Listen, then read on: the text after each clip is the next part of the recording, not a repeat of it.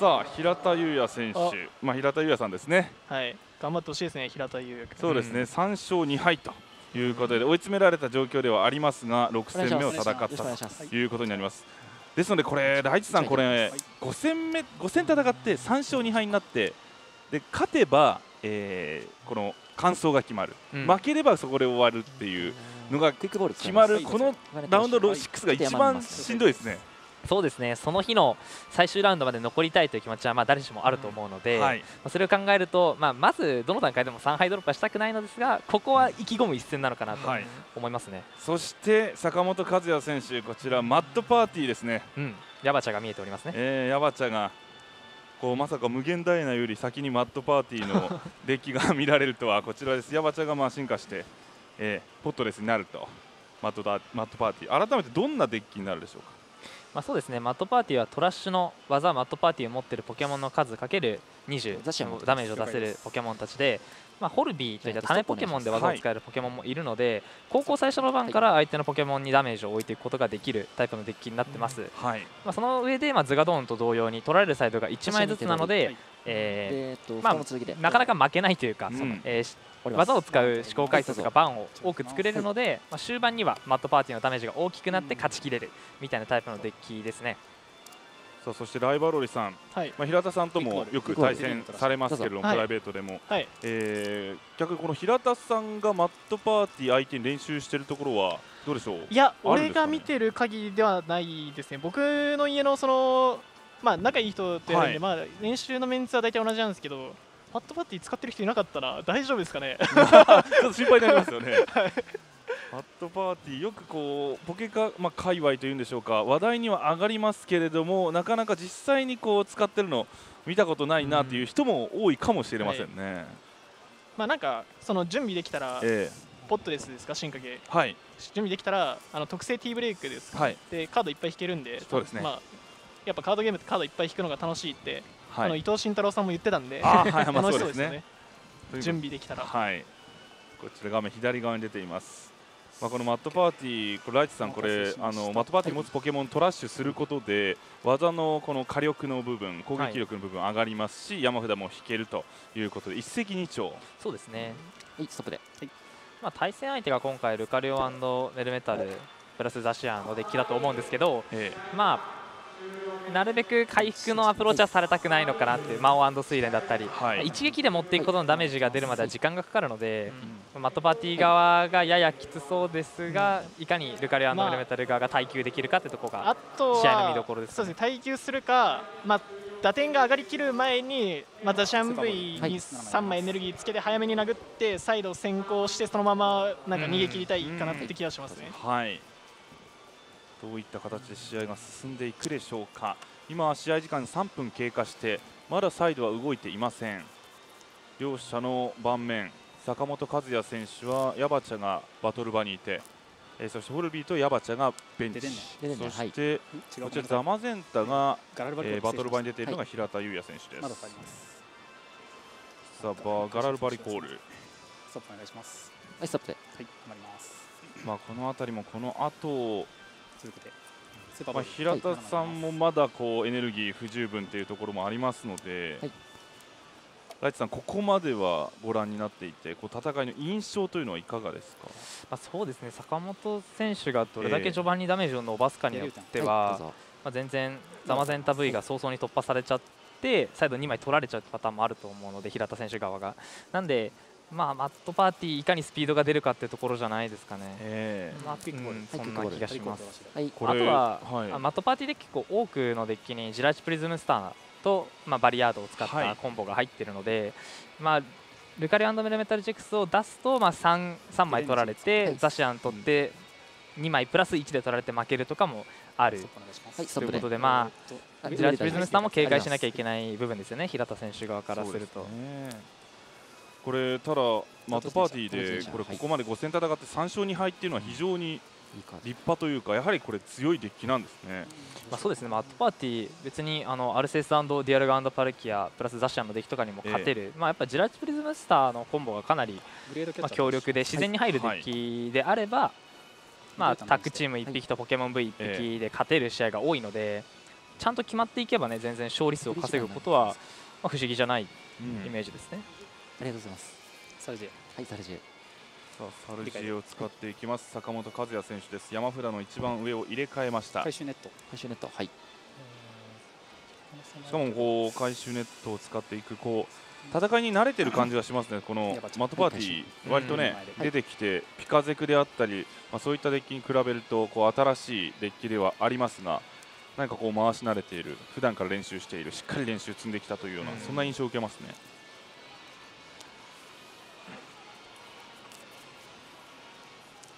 さあ20分残り20分を切っています。さあここで手札を交換していきます。デデチェンジ、まあかなりこう回ってますね。はい。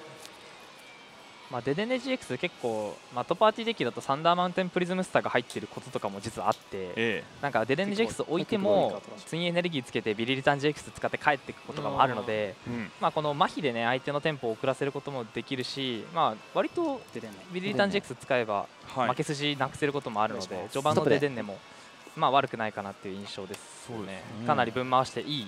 分回しても問題ないっていうイメージはあります。はい、うん。えー、本方投手、はい続けます。まだちょっとお互いにね技が、はい、技を使うことができていないというまあ高校1ターン目がかなりそうですね。もう回収ネットまでしたんで多分マットパーティーは打ちたいんだと思います、えー、これから打ってくる。もう間もなくとい。う感じでしょうね、ここまだ高校1ターン目ですからね5分以上経過してますが6分以上ですね。6分今30秒以上経過してまだ高校行ったんで。今山ちゃんの落ちてる枚数じゃないポットレスの落ちてる枚数エネルギーが多分今ありがとうございます。あんまり無駄に多分できないと思うんですよね、エネルギーが多分ツインエネルギーとトリプル加速エネルギーですかね入ってるとしたら、はい、攻撃できる回数が多分限られてるからまあなんか準備できるまでは待っとこうみたいな感じじゃないですか、ね、お願いします。はい。ストップはい。ありがとうございます、はいメタル操作。目です。おこれもしかして。ええ。コーティング鋼お。願いし。ますさあ3枚目のエネルギー。いけそうですね。うん。まあ。こちらも非常に使い慣れた。3枚。どうぞ。ナイトアセットクロバット V 入れ替えます。お入れ替えしましたね。ポケモン入れ替え前に出ます。ザシアン V 2枚3枚6枚。一つここでボスでヤバチャ。続いて。ヤバチャを引っ張り出しましたボスの指令。まずは1枚サイドを取っていきます。はい。どうでしょうこれ逃げ切りになりそうですかね。まあそうですね。こうティーブレイクを使う可能性があるヤバチャを潰せたというのもかなり相手のテンポを落とすことができるので、ここやっぱあえてデデネ GX を倒して多く取ろうとかい。う考えに至らずヤバチャを倒そうというところはうまい、うまいですよね岩田選手も。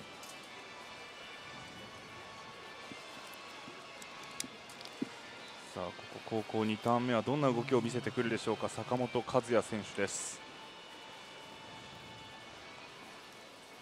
出てね。はい。早めにもう少しこう回したいところもあるかもしれませんが、えー、ストップで、えー、止まります、はい、はい、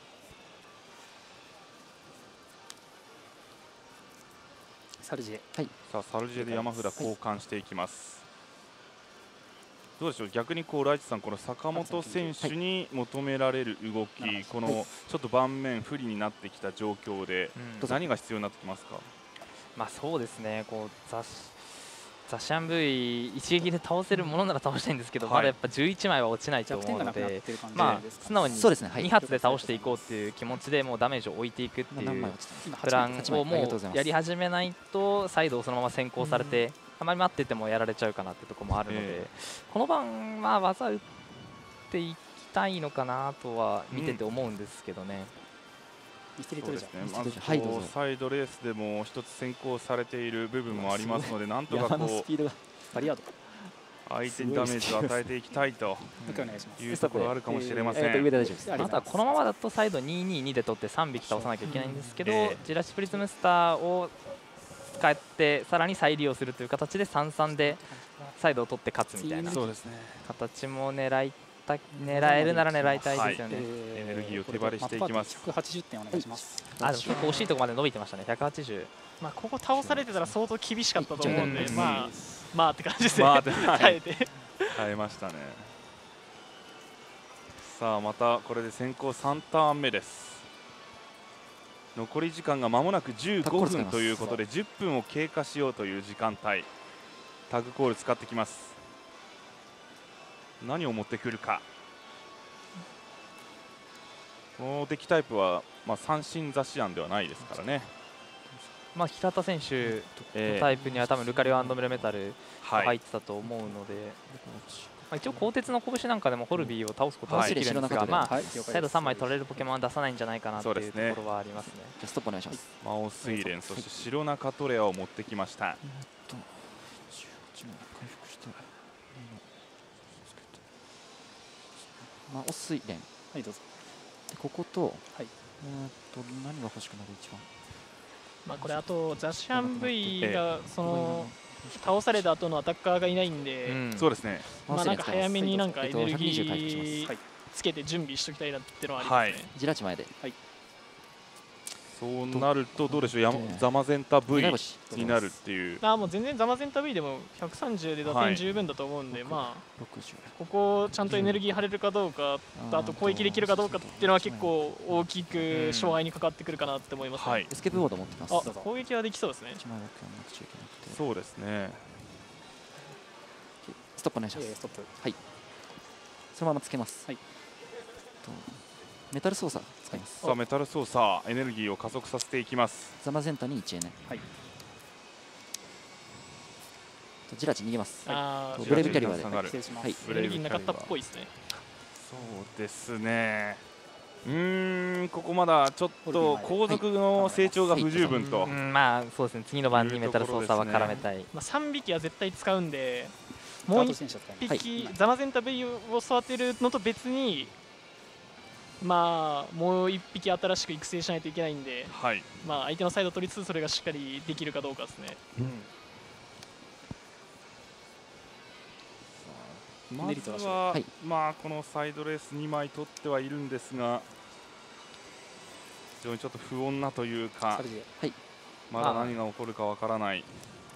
現状のマットパーティーのダメージでバトルバのザ・シャンブイを倒すことはできると思うので、えーやっぱりこうライバルさんがおっしゃってたように後続のアタッカーにエネルギーがどれだけ間に合うか、はい、これ以降一撃が続いちゃうパターンもあると思うので、そうですよね。この急にこの急な追い上げっていうのがこのデッキはあると、しかもおそらくジラジプリズムスターもサイドに潜り込みましたね。そうですね。これでそうですか。だいぶ、そのザ・マンゼンタ V ザシャン V ジラーチみたいな、ええ、エネルギー感じで取っていけるようになったので結構楽かもしれないですね、はい。まあ、こちら特性が非常に強力なものがあります。星に願い。をサイドの枚数を余計に1枚多く取ることができるという。ただここはベンチ埋まっちゃってるんですよね。ベンチ埋まってるんで、ここは取らないのか、えー、マットパーティーで。はい。今さあマットパーティー10枚、はい、これ200点、サイド2枚。はい。さあここでサイドレース追いつきました。坂本和也選手です。残り4枚と残り4枚になりましたツインエネの数教えていただいていいですか？ツインエネルギーがトラッシュにはツインエネルギーの数を確認します、ありがとうございます。ライツさん改めてやはり盤面見ますとここであのザシアン V が落ちてしまったというのは非常に痛い。うん。まあそうですが育ってない以上はすぐに次の攻撃につなげられないというところが厳しいですね、ここ何が必要になりますか、はい、この後というのは平田選手にとっては。まあ、そうですね。例えばザマゼンタ V にメタルゴーグルだったり鋼鉄のフライパンなどをつけてまず絶対一発は耐えられるような体勢を整えられればまだ勝ち目はあるかなと思ってて逆にここで耐久力を上げられるポケモン道具がつかない場合は、えっと、バトルバのホルビーが倒れて1枚増える。あともう1枚トラッシュすれば、えっと、マットパーティーの数が12枚になって、えー、240まで伸びてくるので、まあ、ダメージ軽減のポケモンの道具はつけつつ技も使いたいのかな？っていう印象です。まあ、まず技を使えるかっていうのが一つハードルですね、メタル操作が必要なので。ここをまあ超えていかなければいけないということですね、なんとかエネルギーは現状全体見回しても、まあ、3匹ポケモンがいる中でザマゼンタ V に1枚だけついているだけという平田選手の盤面、この後これを増やせるかどうかです。まずはアサルトタックルでもいいからというところですね。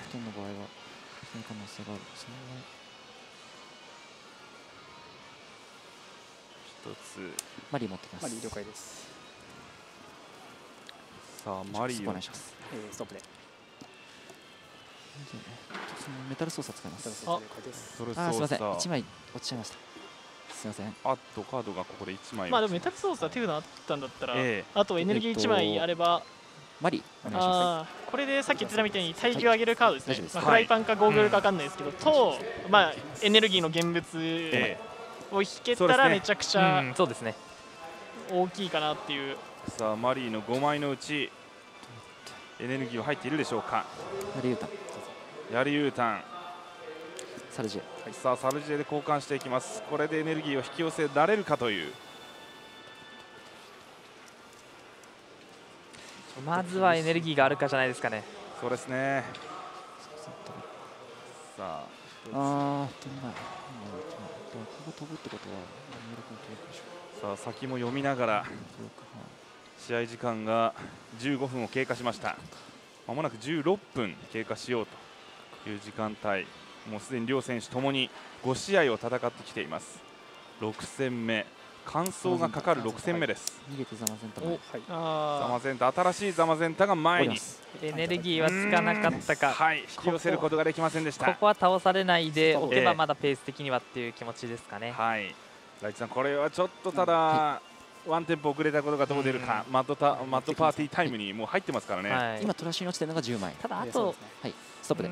あと2枚落とせるのかな坂本選手も。マットパーティーの総数にもまあ限界があるので、16が最大で。落ちればかなり有利、まあ、こうなるとなんか最初、あ落ちはい、たっぽいですね、さっき3枚、えー、なんかガラルバリコールが見えましたしね、えー、だからもうこの博士の研究でザマゼンタウェイを倒せるとこまで伸びちゃったのかな。風船ででんねでさあ風船をつけます。いつでも逃げる準備万端のででんねということになります、えー、ただもう本当にこのパーティータイム非常に怖い。残りのサイドの枚数は同じですが、えー、サルジェ、はい、サルジェサルジェ使ってきます。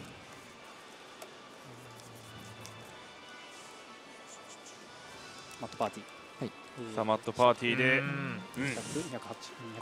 ザマゼンタブイが切れず2枚を取っていきます。残り2枚ですサイド1枚。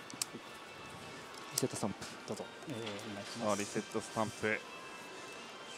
坂本和也選手の手札が2枚になります。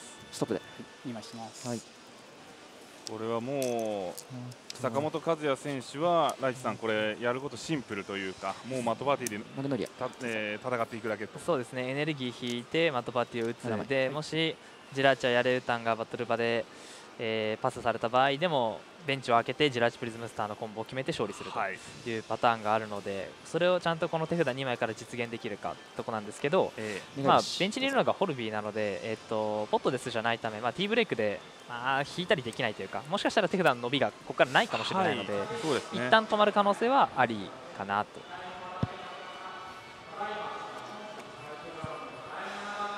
さあ止まるかどうか。ただそれ以上にやっぱり平田選手もライバルさん、これあのスピードを上げないとちょっともうここからだと厳しい。うん。ククボール持ってきます。そうですね、でもなんか相手山薄いんで、えー、ワンチャン山からしに行くのかなと思ったんですけど、まあ、スタンプ打ったんで、まあ、そのルートは取らなさそうですね。そうですね。そういった卓もあると。たまにありますね。たまに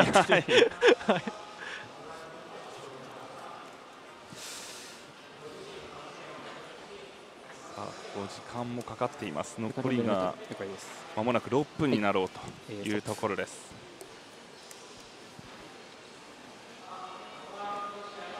サルジェ、はい、さあサルジェ使っていきます、まあ、両者ともにサルジェを使うシーンが多いこの試合になっています。そしてザマゼンタ V に3枚目のエネルギー。無人発電所、はい、無人発電所を張ります、あそれただ、はい、なんとかホルビー一枚気絶そしてツインエネルギーがここ一つトラッシュにいったことも大きいかもしれません。デデン GX が前に出てきます。風船持ってます。逃げるエネルギーは必要ありません。マイナス30になります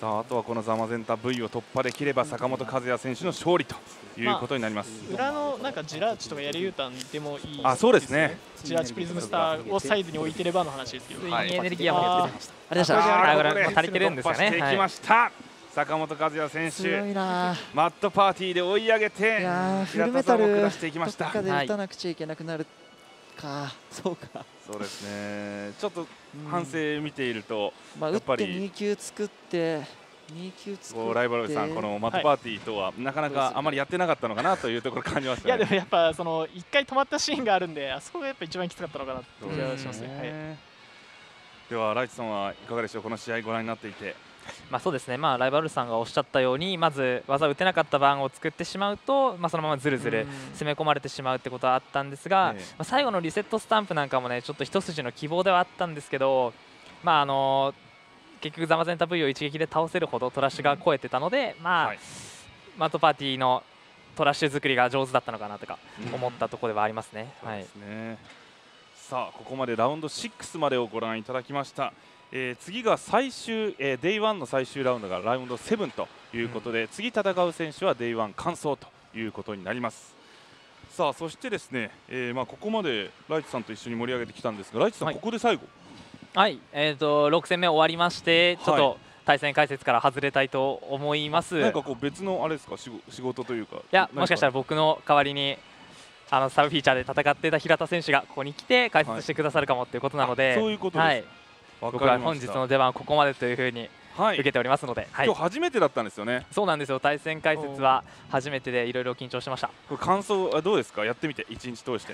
いやでもなんか今こう6戦あまあ実そうですね。見てきましたけど、はい、6戦まあそうですね。6ラウンドまで見てきてなんかもっといろんな試合が見たかったとか もっといろいろ話したいなって思うことも多かったのでね。はい、まあ明日の解説でもいっぱいいろいろ解説できたらなと思ってます。よろしくお願いします。よろしくお願いします。まだね無限大な VMAX の戦い見てないですから。本当です ね。明日もしかしたらめちゃくちゃいるかもしれないです、ね、そうです明日どれぐらい残ってるかっていうところもね、はい、注目ですよね、はい、では今日は一日ありがとうございました。ライチューメーカーさんでした。ありがとうございます、はい、ありがとうございます。ライバルさんもお疲れ様でした、お疲れ様でした。そしてライバルさんは引き続きよろしくお願いします、お願いします。次が最終のラウンド7ということになります。ライライバルさんとまたかっちゃった、ライバルさんと一緒に見ていきますでは一旦お知らせをご覧ください。